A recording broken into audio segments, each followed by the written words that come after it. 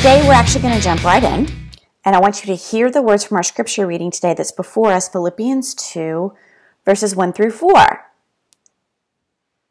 If you've gotten anything at all out of following Christ, if his love has made any difference in your life, if being in a community of the Spirit means anything to you, if you have a heart, if you care, then do me a favor. Agree with each other. Love each other. Be deep spirited friends. Don't push your way to the front. Don't sweet talk your way to the top. Put yourself aside and help others get ahead. Don't be obsessed with getting your own advantage. Forget yourselves long enough to lend a helping hand.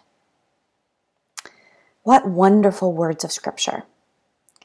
You know, another version of verses 3 and 4 say, Do nothing out of selfish ambition or vain conceit. Rather, in humility, value others above yourselves, not looking to your own interests, but each of you to the interests of others. I love both of those. This is such a rich scripture. Basically, be selfless, lower yourselves, look out for others. That's all. Simple, really, right? Sounds like a great formula for community. I, I think that humans are naturally geared towards self promotion. Do you know what I mean? We're, we're, we seem to always be taking the next step to get a step higher. We often put ourselves before others. We have a big tendency to think that we're better. It just is kind of our default. You know what? What if um? But what if I looked up to you, and you're looking up to me, and uh, she looked up to her, and he to him, and so on and so on and so on if everybody is looking up to somebody, no one is getting looked down upon. That, my friends, is a beautiful thing. I want you to think about this. Maybe it needs to be your mantra today. Lower myself so no one is beneath me. Lower myself so no one is beneath me. What does that mean? Well, it kind of means that we're not going to look at someone else's life and then measure our worth by their accomplishments. We're all set apart, remember? There is no one that's better with Jesus. We're, we're just different. Of course, she is in a different place than you are.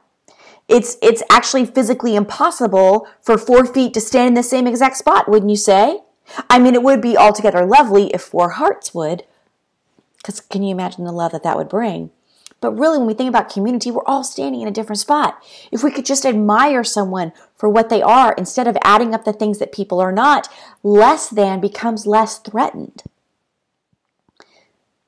Today, I, I, want you to try to not look at a person only for what they can offer you. And you might be saying to yourself, oh, I never do that. But I bet now you're going to catch yourself when you do. And I don't want you to avoid someone when that something is nothing. We're going to be good and we're going to do good because of who we are. We, we are the beloved of God.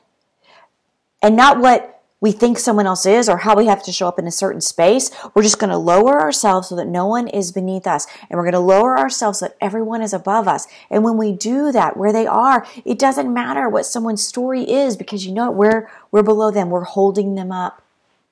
We're looking them up. We're looking up to them. We are lifting them in the eyes of God. You know, I read a piece of scripture in Ezekiel this week. God was talking to Israel, but just conviction because it can easily uh, you know apply to us. So so just think about it this way. Maybe it says god talking to florence. I am bringing you back but not because you deserve it. I am doing it to protect my holy name on which you brought shame while you were scattered among the nations. Who that hit home? I love it.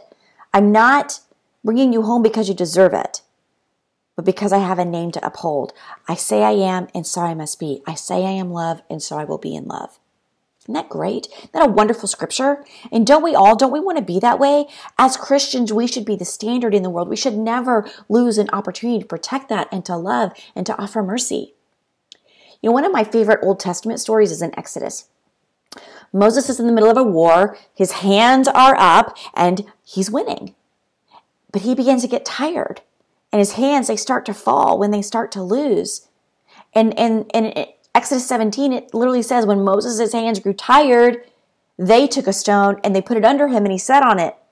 And the they was Aaron and Hur. And then Aaron and Hur, they held, they held hands up, one on each side and one on the other, so that Moses' hands remained steady until sunset, and they were victorious. Two friends saw Moses struggling and they came to help. Moses and his army won that battle because Moses had someone to be the support that he couldn't be. They were there to help not to conquer. You see the difference, right? not for your interest, but the interest of others. If you're only serving someone for what you might receive, that's not serving, that's business. You know, I wish I had some pretty words to tie this all together, all of these things, but I don't. Sometimes it is just what it is. No one is above anybody. That is what it means to be selfless. All we're called to do is to love people at least as much as we love ourselves.